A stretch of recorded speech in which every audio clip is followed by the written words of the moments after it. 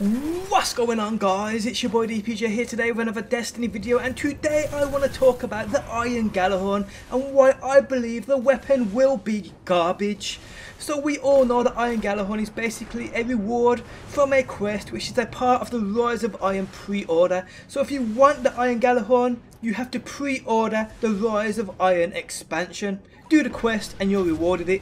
Now here's why I believe this weapon will be garbage. Let's go back to year one, but for those who actually played that Destiny in year one, the Gjallarhorn was a weapon which to be honest was quite rare.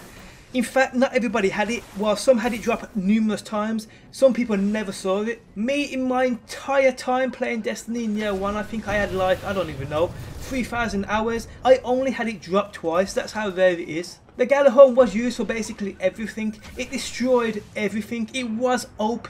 Without a doubt, it was a game breaker. More so around the time of the Crota's End raid did this come very apparent though. It was a weapon that made the raid extremely easy and the weapon itself was actually the deciding factor of whether or not people would be allowed to play with others in the Crota's End raid. I saw plenty of posts on LFG, people being invited, people needed for the raid, but must own the Gjallarhorn. The Gjallarhorn made everything in that year one a lot easier than what it should have been.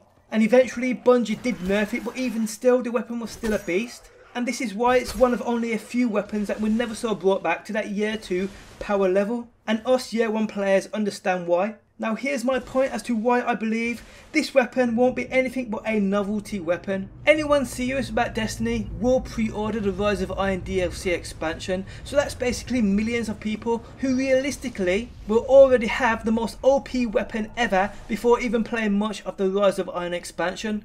Do you really think Bungie will hand out a weapon to millions of players which they know broke the game in that year one?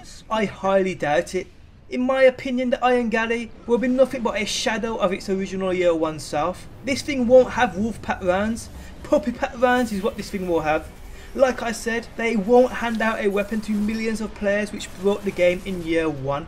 I just cannot see them doing that. This weapon in my opinion will be nerfed to the ground. And to be honest, it's probably for the best. I honestly don't want to see another weapon like the Gjallarhorn just ruin the experience. If shit's meant to be hard, it's meant to be hard. The Gjallarhorn in year 1, when used, made everything a lot easier than what it should have been. And this is my opinion of why I think this weapon will be nothing but a novelty weapon. But like I said, it is just my opinion. Let me know yours down below in that comment section. Thanks for stopping by as always. If you enjoyed the video, smash that like button. Subscribe for Daily Destiny and I'll catch you guys on that next one. Peace out until next time. Peace!